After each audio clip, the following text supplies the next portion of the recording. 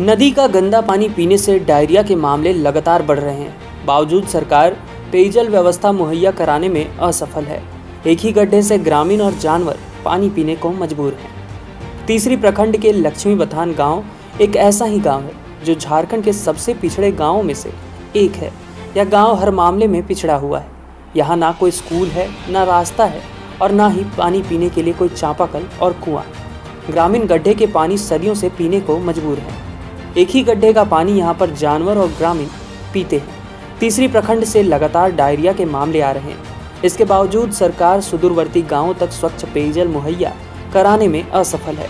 इस गाँव के पिछड़ेपन व बेबसी के सामने जनप्रतिनिधि भी हाथ जोड़। स्थानीय मुखिया प्रतिनिधि कहते हैं, हम यहाँ पर ना ही कुआँ व चापाकल बनवा पाए क्योंकि मटेरियल पहुँचाने के लिए रास्ता नहीं है। स्थानीय जनप्रतिनिधि चुनाव के समय बहुत सारे दावे व वा वादे करते हैं। लेकिन आज़ादी के बाद से इस गाँव में अभी तक ना कोई स्कूल बना, ना रास्ता बना और ना ही पीने के लिए स्वच्छ पेयजल के लिए चापानल व कुआँ बनवाया गया। ग्रामीण गड्ढे के पानी पीने को मजबूर है। सबसे बड़ी बात यह है कि अगर इस गाँव में किसी को गंभीर बीमारी हो जाती है तो उसे आनंद फानन में चारपाई, खटिया से इलाज के लिए ले जाया जाता है, जो समय पर नहीं पहुँचने से रास्ते में ही दम तोड़ देता है, या तो समय पर इलाज नहीं हो पाता। आज़ाद भारत में एक नागरिक को इससे बड़ी बेबसी और क्या हो सकती है? बताया जाता है कि लक्ष्मी बथान गाँव में लगभग तीस घर है, जिसकी आबादी 500 से अधिक है। इतनी बड़ी आबादी तमाम मूलभूत सुविधाओं के अभाव में जी रही है।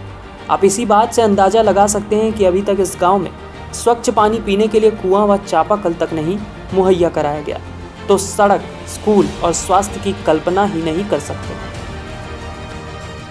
है ना के है ना रोड के है अभी पानी पीते हैं जब बाढ़ आता है बरसात के दिनों में कैसे पीते हैं पानी? यह बढ़िया ला पानी पिए मतलब यहाँ कोई सुविधा नहीं है। कोई सुविधा नहीं है कितना दूरी है आपके मतलब नदी के घर से?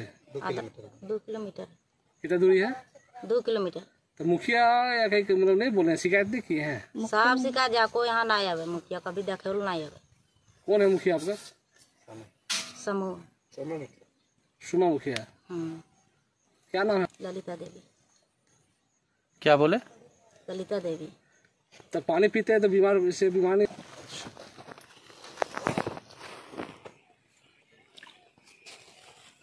पंचायत के मुख्य प्रतिनिधि सोमा मुर्मू। हमारा एक ऐसा गाँव है बरदोनी टोला लक्ष्मी बथान जो कि वहाँ अभी तक कोई रोड भी नहीं पहुँची हुई है और ना तो कोई साधन वहाँ दे पाया है। क्योंकि वहाँ जो है ना बाहर से ईंटा बालू पत्थर लाने के लिए बहुत ही दिक्कत है इसीलिए वहाँ कोई तरह का ना तो कुआँ हो पाया है और ना ही कुछ मैंने वहाँ साधन सुविधा हो पाया नहीं पाया है। अच्छा। क्योंकि बाहर से मटेरियल जा ही नहीं सकता है जो कि वहाँ कुआँ भी बना सके। अच्छा। वहाँ वैसा टोला है इसीलिए हम सरकार से मांग करते हैं कि वहाँ थोड़ा अच्छा रोड बने और वो लोग का साधन सुविधा हो।